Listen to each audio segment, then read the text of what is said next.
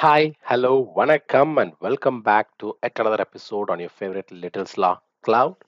So today in this video, we are going to create a management group. And before that, I'll explain you what is a management group and why do we need a management group in Azure and what is the difference that, that the management group makes. So firstly, we'll see what is a management group. So if you go to the Azure portal and search for management groups, you get the management group here. And uh, the first thing is uh, an Azure management group is a way to efficiently manage access, uh, policies, and compliance across multiple Azure subscriptions by organizing the subscriptions into containers called management groups. The governance controls, such as Azure policies and role based access controls, can be applied at a higher level. So, that is the reason we would need a management group. So, the main thing is to governance, to govern the controls, such as Azure policies and the role based access controls at a higher level. So, that is the reason we would need a management group and this provides a level of scope above the subscription so this is not in terms of the subscription but it is one level above. So if you see here we have got a tenant group which is basically a management group.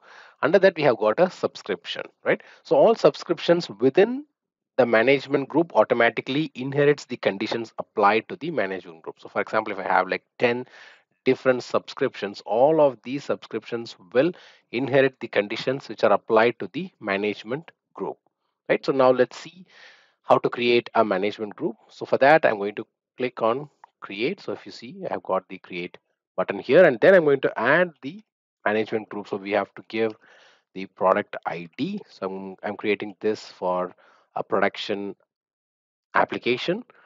And then i'm going to give the name of the so there is like two things. One is i have to give the management group id so the id will be displayed here on the one to third column.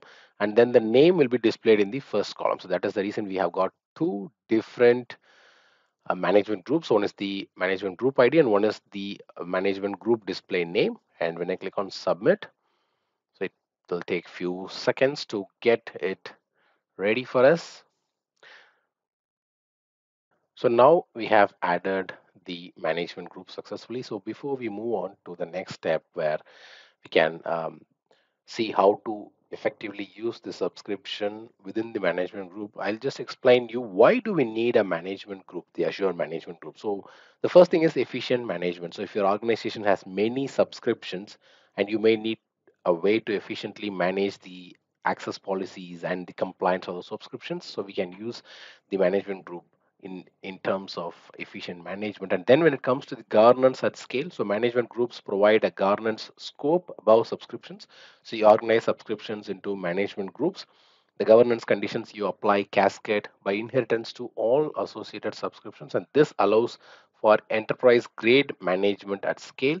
And when it comes to the policy application, for example, you can apply the policies to the management group that limits the regions available for virtual machine creation. And this policy would be applied to all nested management groups uh, for subscriptions and resources. And it allows the VM creation only in authorized regions. So all these things can be controlled using the management groups. And then when it comes to the access management so there is another scenario where you would use management groups to provide user access to multiple subscriptions and by moving multiple subscriptions under that management group we can create one azure role assignment on the management group which will inherit the access to all the subscriptions whatever we created and one assignment on the management group can enable users to have access to everything they need instead of scripting Azure RBAC over different subscriptions.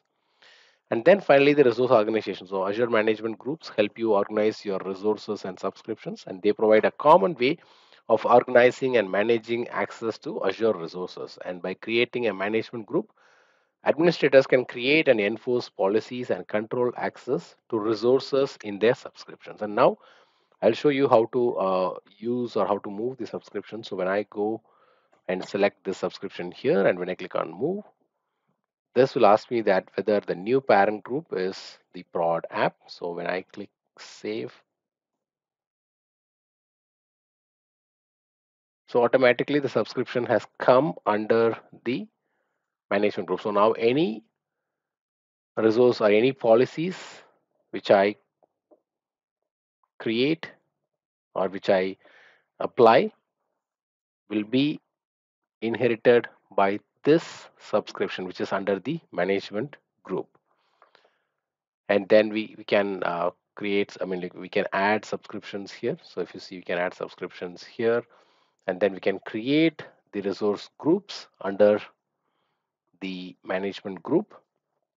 So if you see we have got the subscriptions we can create the resource groups we can create the resources and we can even watch the activity log. So i can i can just take you through this activity log like how does it work. So when it comes to activity log you can see what are all the changes that has or what are the activities that has happened uh, during the last few hours so you can set up the time span like for the last month until last month and even you can set it up like for a custom period of time and you can see what has happened. So if somebody has deleted us if somebody has created if somebody has made any changes to any of these resources you can come into this part and go to the activity log and see who has did that. So if you see this event was initiated by me myself in a different email id so you can see uh, like who has did this and what changes has did he has did. So this is another way we can control it. And then when it comes to the access control you can check like who has what access and you can add the role assignments you can add co-administrators you can add custom rules. So we'll go through this uh, in some other day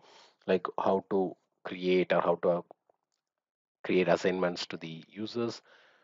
And yeah so this is all about the creation of management group and then we have moved a subscription inside a management group so with that i come to an end and i we will see in another interesting video in our another Littles Law cloud youtube playlist. So until then it's bye bye from Vasan Shanmugam and your favorite Littles Law youtube channel. Bye bye